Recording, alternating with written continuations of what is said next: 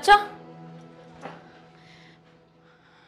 चाचा आपको पोर्शन किराए पे देना है ना तो आप किराया मुझसे ले लीजिए। तुम्हें इस घर से निकालने के लिए ही मैं ऊपर का पोर्शन किराए पे दे रहा हूँ। लेकिन आप ऐसा क्यों कर रहे हैं? दादी ने कुछ नहीं बताया। जाओ ऊपर दादी की मदद करो सामान पैक करने में। शकीला चची कहाँ है? मुझे उनसे बात करनी है। पे नहीं है। क्यों इस वक्त तक तो वो आ जाती है? अब वो तुम्हारे जाने के बाद ही इस घर में आएँगी। तो फिर आप उनसे कह दें कि वो घर वापस आ जाए क्योंकि हम यहाँ से नहीं जाएँगे। तुमने अगर उनका इंतज़ार करना है तो बाहर सड़क पर बैठ के करो।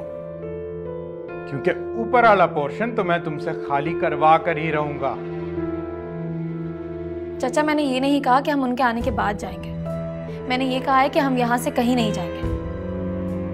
अगर आपको पोर्शन किराए पे ही चढ़ाना है तो आप किराया हमसे ले लीजिए। लेकिन चाची, मुझसे वादा खिलाफ ही नहीं कर सकती। माँ पारा तुम जाके ट्यूशन की तैयारी करो, सलीम से मैं बात करूँगी।